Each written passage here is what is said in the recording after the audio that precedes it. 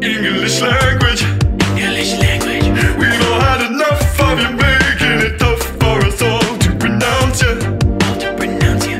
You need to pick a freaking name with the sounds you're making, like O U G H. It's said how it's spelled. Psych, it's O L